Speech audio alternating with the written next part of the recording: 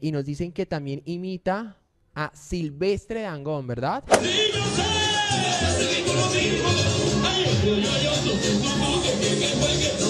Sí, yo, oigas, gané harta plata haciendo, haciendo eso. ¿Con Silvestre?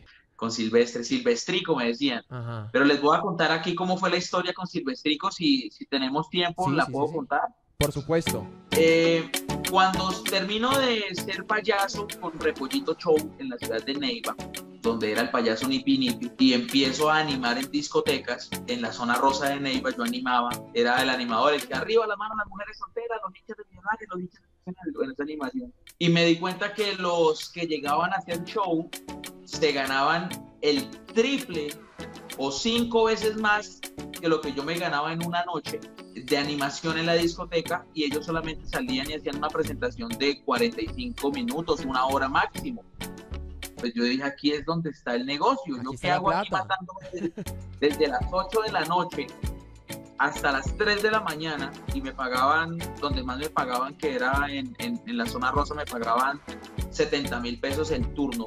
Entonces me monté un show donde yo cantaba como Silvestre Dangón, cantaba Ajá. porque yo no cantaba. Mire que eh, esto, esto lo saben en este momento muchos empresarios, es porque lo acabo de decir.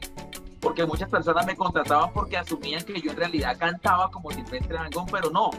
Lo que yo hacía era descargar las canciones en vivo de Silvestre, me las aprendía de memoria, la canción en vivo, la versión en vivo me la aprendía de memoria y ahí sí casi que hacía como una fonomímica, pero para el- los asistentes parecían como si yo, como si yo estuviera cantando. Sí.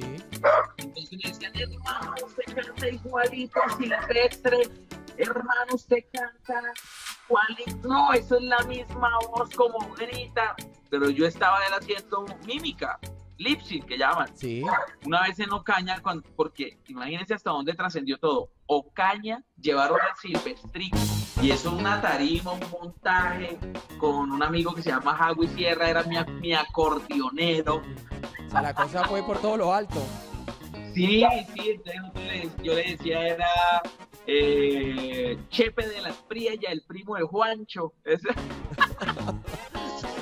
y, y, y en Ocaña se subió un borracho, hermano, a la tarima.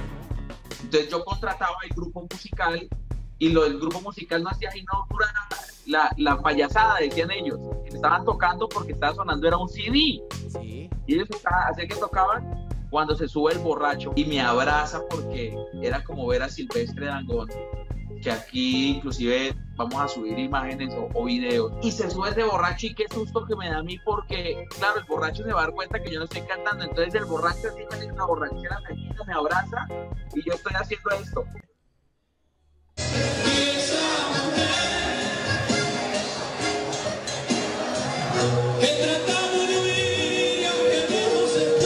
Gracias. El borracho en medio de su borrachera como lo que pasa y no entonces entendía. grupo de seguridad porque también tenía yo seguridad. Lo bajan al borracho y sigo yo cantando. Pana. Y se me raya el CD. ¡Epa! Y entonces, No, pues imagínese, menos mal que ya la gente estaba como borracha. Bueno, no, no, ni me acuerdo como que no de estaba eso. tan consciente. Sí, sí, sí, exactamente, exactamente.